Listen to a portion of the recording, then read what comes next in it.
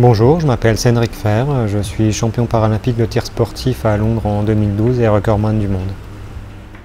Tu peux démarrer quand tu veux.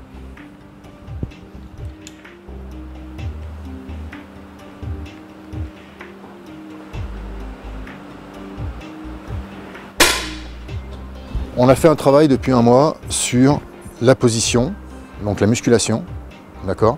Sur ta position par rapport au fauteuil hein, pour essayer de ressentir ta verticalité. Maintenant, ce que je voudrais que tu essayes de faire, c'est reprendre tout ça et le mettre directement sur ces 60 balles. Je filme euh, l'athlète, en l'occurrence Cédric. L'ordinateur va couper le film en images et va nous permettre d'avoir des vitesses, en tout cas de mesurer des vitesses, des positions et finalement euh, savoir un petit peu euh, comment Cédric fait varier sa posture.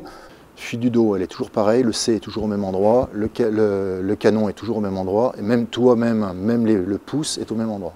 C'est quelque chose de tout à fait nouveau, oui. Euh, une préparation physique et, puis mentale euh, plus suivie et plus euh, des séances comme ça en vidéo, c'est quelque chose de nouveau, donc c'est une découverte. Donc, on essaye d'analyser un petit peu ensemble ce qui va et ce qui ne va pas, et puis d'appuyer sur les, sur les points à améliorer.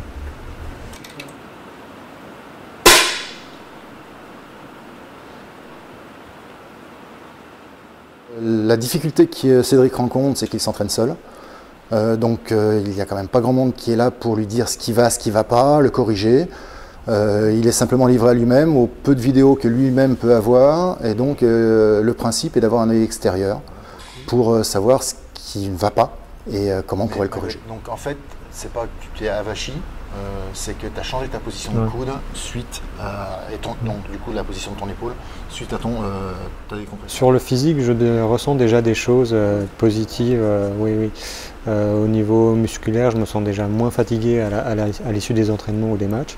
Et puis j'ai l'impression d'avoir un petit peu plus de, maintien au niveau, au niveau abdominal surtout. Donc ça c'est intéressant pour avoir une position la plus stable possible. J'espère que ça peut m'apporter quelque chose jusqu'à Rio. Euh, maintenant, la, route, euh, elle, est encore longue et il y aura une année euh, très difficile à, gérer cette année pour décrocher déjà les quotas pour le pays et ensuite sur la dernière année éventuellement ma sélection pour les prochains Jeux.